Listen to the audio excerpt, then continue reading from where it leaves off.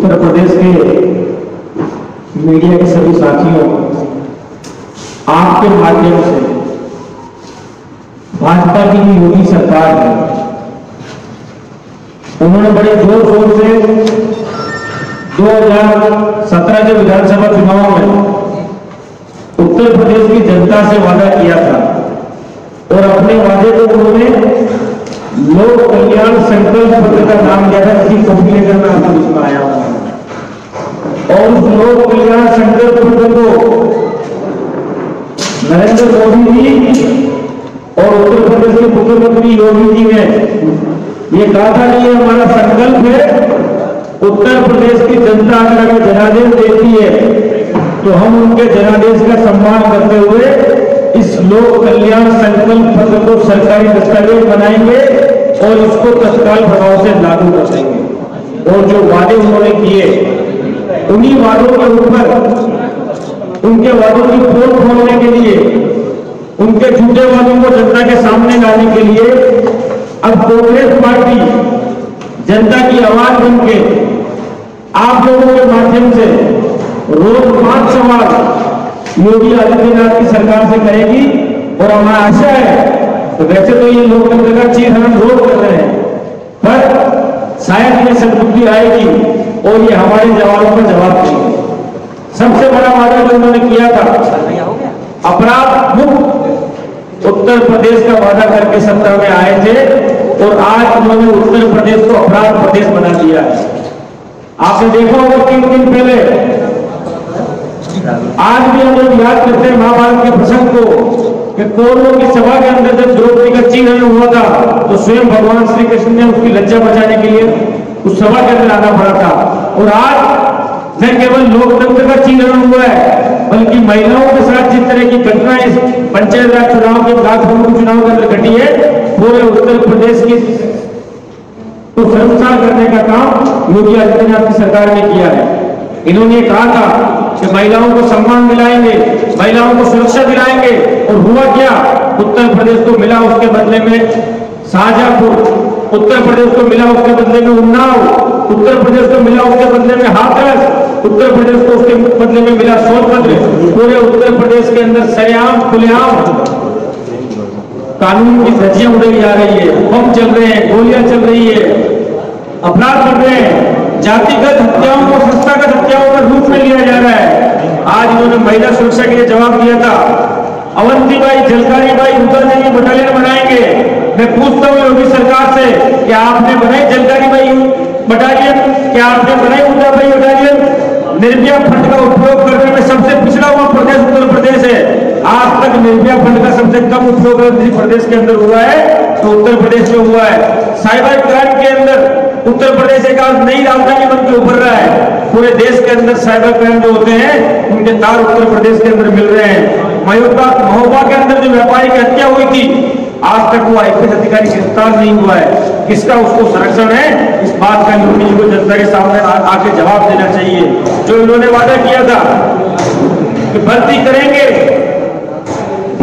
देंगे रोज़गार, करेंगे भर्ती, देंगे रोज़गार, पर सड़कों पर क्यों उतरे हैं बेरोजगार? आज उत्तर प्रदेश के युवाओं से इन्होंने रोज़गार किया था कि पाँच साल में सत्तर लाख रोज़गार देंगे। आज अवसर आ गया है। कि अगर आप नरेगा को भी रोज़गार मान लेते हो तो कम से कम उसमें तो आंकड़े सार्वजनिक कर दो कि हमने कितने लोगों को रोज़गार दिया है। आज उत्तर प्रदेश का युवा बेरोजगार होकर सड़कों पर खड़ा है तो राय पर खड़ा है अपने जीवन के अंदर कि किस तरफ़ जाऊँ, मुझे रोज़गार कौन देगा? इन्होंने वादा किया था कि सरकार बनने के निब्बे दिन के भीतर भीतर हम लोग सभी सरकारी पदों पर जो रिक्त पद है, उनकी भर्तियाँ चालू कर देंगे। उत्तर प्रदेश में एक भी भर्ती ऐसी नहीं हुई है जिस भर्ती के अंदर घोटाला सामने ना आया हो और लोगों को कोर्ट की शरण नहीं लेनी पड़ी हो, फिर मैं पूछना चाहता हूँ, कैसा आपका सुशासन है? इसका जवाब आपको देना चाहिए। आरक्षण व्यवस्था का सम्मान करने का वादा किया था, लेकिन आज सिक्सटी नाइन हज़ार शिक्षक भर्ती के आरक्षण घोटाला हो या अन्य घोटाला हो, उत्तर प्रदेश का युवा इनके ऊपर विश्वास अपना खो चुका है। उन्होंने वादा किया था देश के किसानों से। उत्तर प्रदेश के किसानों से कि बिजली का बिल करेंगे हाफ़ किसान का कर्जा करेंगे, माफ़। इनके लोग में फंस गया किसान। और आज उत्तर प्रदेश के अंदर ऐसा कोई जिला नहीं है जहाँ पर किसान ने फांसी खाकर अपनी जान न देती हो। आज इन्होंने समर्थन मूल्य का जो वादा किया था कि आलू, प्याज, लहसन पर हम समर्थन मूल्य की घोषणा करेंगे। आज तक योगी आदित्यनाथ की सरकार ने समर्थन मूल्य की घोषणा नहीं करी। तीन साल में सभी किसानों को सोयल हेल्थ कार्ड देने का वादा किया था। आज वो किसान दर दर की ठोकर खा रहा है, अपनी मिट्टी की जाँच भी वो नहीं करवा पा रहा है। भूमिहीन किसानों को इन्होंने कहा था कि तुम्हें निःशुल्क दुधारू पशु देंगे, ताकि उन पशुओं के माध्यम से आपका जीवन यापन हो सके। उत्तर प्रदेश में शायद किसी किसान को दुधारू पशु सरकार की तरफ़ निःशुल्क नहीं दिए गए होंगे। और इन्होंने कहा था कि आपकी खेती की हम सुरक्षा करेंगे। आप दुर्भाग्य उत्तर प्रदेश का कि आज किसान अगर सबसे ज़्यादा परेशान है तो आवारा पशु की सेना से पुरस्कार है। परेशान है? वो जो खेत के अंदर घुसते हैं तो किसान की साल भर की मेहनत को एक रात के अंदर उजाड़ देते हैं और वो किसान अपने परिवार के साथ आत्महत्या करने को मजबूर हो जाता है। आज उत्तर प्रदेश का किसान योगी आदित्यनाथ से सवाल कर रहा है कि हमारे किसान कर्जा माफ़ का जो वादा था, उसका तुमने क्या किया? हमारी बिजली को तुम्हें खेतों के अंदर जो माफ़ करना था, उसका तुमने क्या किया? युवा और छात्र कर रहे हैं सवाल। क्यों हमारे भविष्य के साथ हो रहा है अन्याय? मैं लंबा नहीं करूँगा।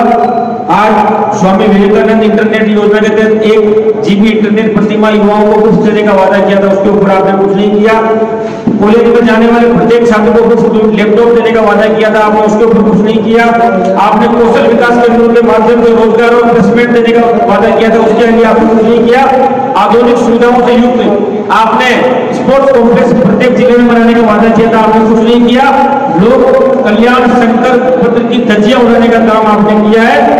लिए उत्तर प्रदेश की जनता आपको माफ़ नहीं करेगी और शिक्षा युक्त उत्तर प्रदेश को आपने भाजपा जो मेरा सवाल है कि आपने शिक्षा का वादा किया था। शिक्षा युक्त उत्तर प्रदेश की जगह आपने शिक्षा के अंदर माफिया पैदा कर दी है।